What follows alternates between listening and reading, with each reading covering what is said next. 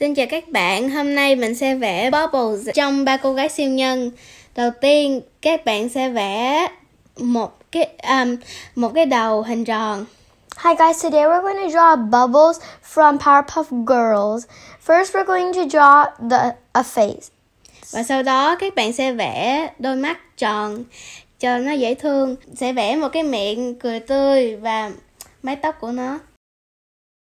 Now we're going to draw the big eye, so it's cute, and a very good smile and its hair.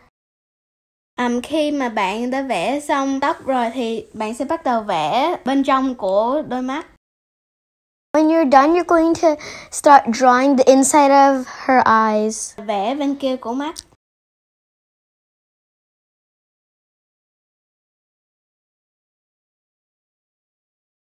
Sau đó các bạn sẽ vẽ bên dưới. Next, you guys are going to draw the bottom, which is her body and her outfit. Khi các bạn đã vẽ xong rồi thì bây giờ mình sẽ đồ lên bằng bút lông cho đẹp. When you're done, use a Sharpie marker or any type of marker to go over pencil marks and to make it look nice. Và các bạn sẽ tô màu phần màu đen bên trong của đôi mắt. You guys will color the inside of the eyes some black. Và bây à, và bây giờ mình sẽ đồ phần bên dưới. We're gonna color on the bottom and now color inside of the eyes black. Và sau đó các bạn sẽ tô màu cho chiếc áo của nó và và mình sẽ tô màu đôi giày. Now you guys are going to draw its uh, shoes and then color it in. Các bạn sẽ tô màu xanh um, cho cục cục tóc của nó và mình sẽ và gom hết những cái nét bút chì và và mình sẽ tô tô màu vàng cho tóc của nó. Color in hair part blue and then color in the hair yellow.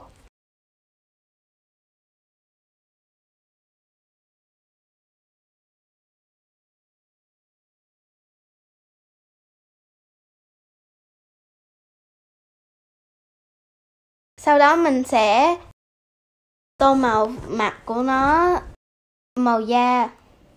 Now you're to color her skin the way of how she looks. Color the hands. Và bây giờ mình sẽ um, tô màu phần bên trong của mắt màu xanh. And now we're going to color the inside of um, Bubbles' eyes blue. Và, và mình sẽ tô màu đồ đồng phục.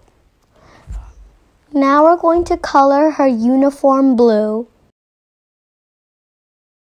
Sau khi đã xong thì mình sẽ viết tên của nó làm vào. When you're done, you write your her name. Đã xong, nếu các bạn thích video này thì hãy nhấn like và subscribe. Now we are done. If you like this video, please subscribe below. Thank you. Bye bye. Thank you.